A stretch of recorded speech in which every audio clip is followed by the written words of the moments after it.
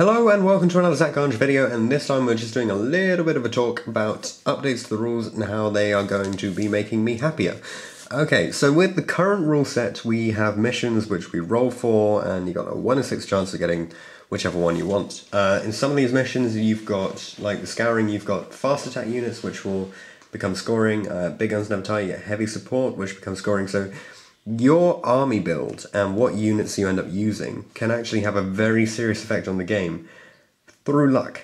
Because it might just be, you might put uh, play Necrons and want to um, specialize with loads of fast attack units because their fast attack is arguably the best part of their codex. Here we go, the codex. Necron codex. Fast attack units are awesome in this codex.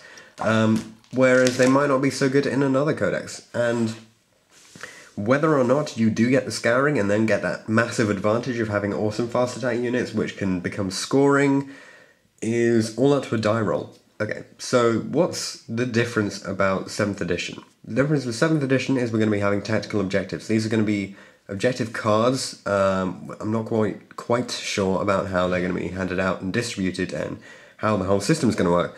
But from what I've been hearing, basically we're going to get a system where you will receive these objective cards and you get to pick some of them one some of the ones that you want to use. And you're you have to complete whatever it says on the cards. So it might be like have a unit in the table corner or kill the warlord or um, get the first kill or maybe eliminate some part of their army. And i think this is a really good idea because it means that you actually get to affect the way that you're playing in the game because it's not so much up to um, it's not so much up to a single die roll that's going to affect the entire uh, entire battle. It's really up to your choice and what you know you're good at manipulating your army to do and what you're playing against. You know, you can judge, okay, he's playing Space Marines, I'm not going to be able to kill them so easily, so maybe I should, you know, just go for one where I'm going to sit in the corner and uh, if I get in the corner then I'll be good. So, um, yeah, I think moving towards these tactical objectives and on the objective cards that they got, so coming out, uh, shipping on the 24th of May, which is going to be really soon, so it's just cool. Uh, I'm going to have to get a copy of the rulebook at some point, but it'll probably be in July actually. Um, which is a shame because I want to get some stuff done on it.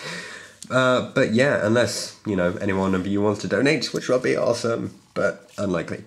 So, uh, yeah, if you've got any comments or suggestions on how you play or uh, what you think of the new tactical objective system, don't forget you can always leave your comments in the comment section down below. I do try and read them and reply to them as often as possible. Uh, but if I don't get to you, I'm really sorry about that. You know, just pester me with more comments and I'll get back to you. Uh, don't forget to like this video and subscribe because it really helps to motivate me. And I'll see all of you guys in the next video.